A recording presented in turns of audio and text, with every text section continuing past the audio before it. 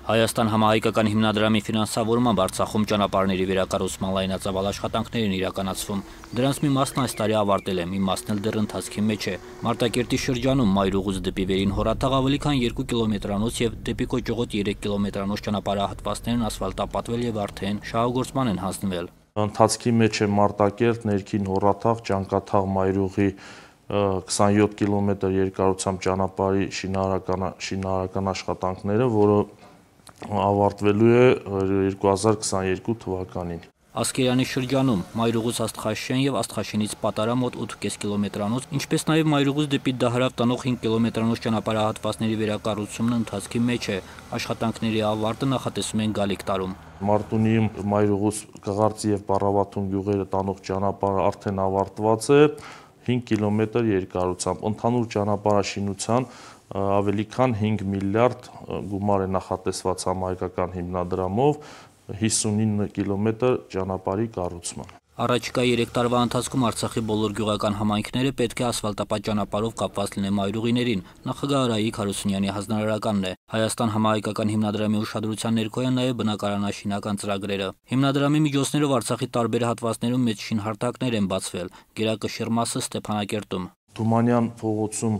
108 բնակարանոց բնակելի շենքի շինաշխատանքները, որը ընթացիկ տարում ավարտվելու են, նույնպես Թումանյան փողոցում 153 բնակարանոց թաղամասի կառուցումը, որը նույնպես ընթացիկ տարում ավարտվելու է եւ 6-րդ դպրոցում նախկին 6-րդ դպրոցի շենքի վերակառուցումը 30 բնակարանանոց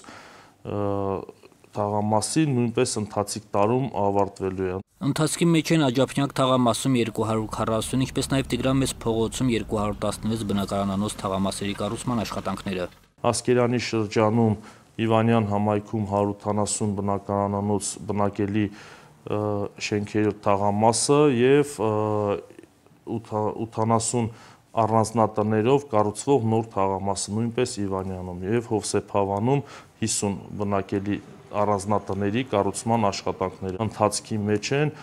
ավարտը նախատեսում են 2022-2023 թվականին։ Մինչև 2023 թվականի վերջը Արցախում նախատեսվում է կառուցել ու շահագործման հանձնել 1057 բնակարան ու առանձնատուն։ Հիմնադրամի դրամական հատկացումներով որոշ բնակավայրերում այս տարի մեկնարկել են նաև նոր ջրագծերի անցկացման եւ ջրամատակարարման ցանցի կառուցման աշխատանքներ։ Դրանք կավարտեն 2022-ին ընթացքի մեջ են Ճարտար եւ Ճարտար քաղաքի եւ Բերթաշեն գյուղի ջրամատակարարման նոր ջրագծերի կառուցման շինաշխատանքները։ Առաջի փուլով իրականացում է արտաքին ջրագծի կառուցման աշխատանքները, երկրորդ փուլով նախատեսում է ներքին ցանցը։ Այո, ավարտ ծրագիրն ավարտելուց հետո շուրջօրյա ջրամատակարարում կիրականացվի։ Ճանապարհաշինության, բնակարանաշինության եւ ջրամատակարարման նշված ծրագրերի համար Հայաստան համահայկական հիմնադրամն ընդհանուր առմամբ հատկացրել է ավելի քան 40 միլիարդ դրամ։ Գենադի Երեմյան, Արտավազ Գրիգորյան, Օրլրատվական